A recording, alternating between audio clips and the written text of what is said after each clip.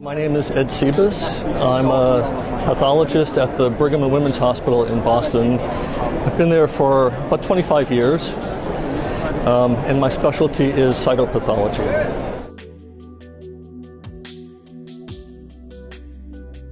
The specialty that I practice in is called cytopathology, and it's really defined as that aspect of anatomic pathology which deals with tissue samples that are obtained using minimally invasive methods.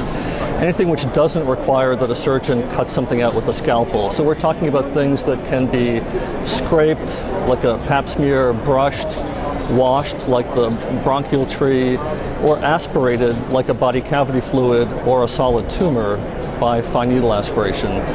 Um, given the healthcare environment now, which has growing financial constraints, it's an important specialty um, to utilize because um, it is relatively inexpensive. The technology that we uh, use in cytology is, is not terribly expensive, it's fairly simple.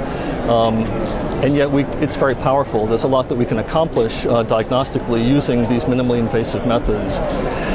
So that's one aspect. Um, um, the other is that we're living in the era of genomics now with enormous breakthroughs in understanding the causes of disease.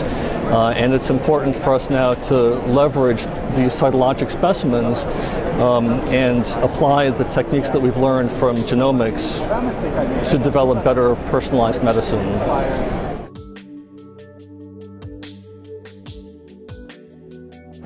So the title of the book is Cytology, Diagnostic Principles and Clinical Correlates. Uh, it's now in its third edition. Uh, the first edition came out in the early 1990s.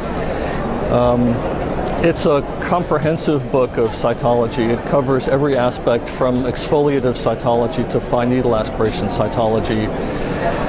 Um, the, the need that it fills um, well, there are a lot of cytology books out there. I think it's uh, somewhat unique um, for three reasons. One is that it is comprehensive. Uh, there are a lot of books on special aspects of cytology, but this book really covers essentially everything in cytology. The other thing that's relatively unique is it's it's um, portable, it's concise, it's really only about 500 pages long. Um, the text is, um, is brief. Um, a lot of the key points are um, summarized in bulleted capsule summaries, which people find extremely useful as a kind of mnemonic aid. And the third thing, which I think is unique about the book, is that it really emphasizes clinical correlation to the diagnoses that we make. So not only is it a guide to how to make a diagnosis, but also places everything in a clinical context. So why do we screen for cervical cancer? Why do we do fine needle aspirations of the thyroid? And what are the clinical implications of the diagnoses that we make? I think if we understand better what the clinical implications are, we're better placed to make the diagnoses that we have to make.